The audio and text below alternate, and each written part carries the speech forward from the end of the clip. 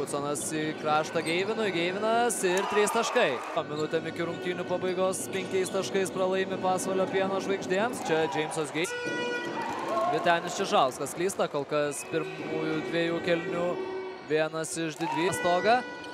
Valeika netaikliai atakuoja ir dar kartą apsigina Alitaus Dzukijos krepšininkai. Geivinas. Dar kartą Džeimsas Geivinas, dar du 15 taškų pranašumas. Huds, čia Geivinas. Tas tokia kėlinio pradžia.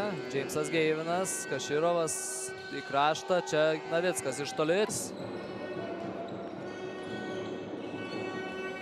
Geivinas į kraštą. Čia Navickas laisvas iš manda.